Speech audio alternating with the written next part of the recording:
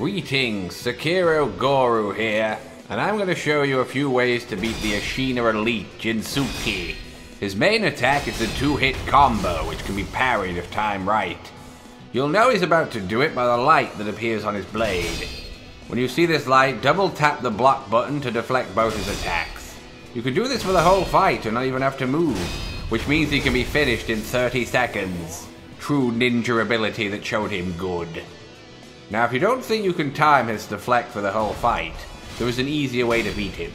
Make sure you have your loaded axe prosthetic equipped. And what you want to do is constantly hold left on the analog. When you see the light on his blade, press the dodge button so you dodge to the left to avoid his attack.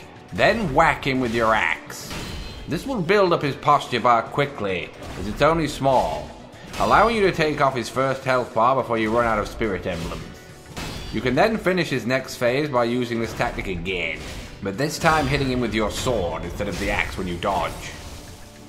Whatever you do, don't try to block any of his attacks, as he can break through it and you'll just take damage.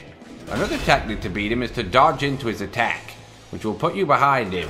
Slice him once, which will make him attack you again, and then press dodge to repeat this process. You should be holding forwards the whole time.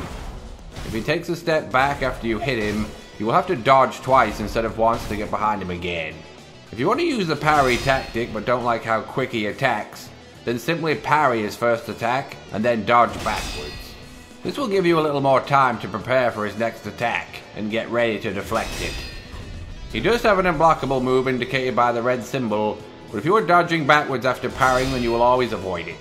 Subscribe for more boss guides, tips and secrets, and click the link in the description or at the end of the video to watch an Angry Rage playthrough of the game by my failed disciple, Throthgar the Dragonborn Coward. You will love it. Woo! Son of a bitch!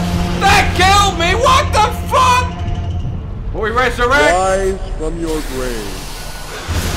What the fuck?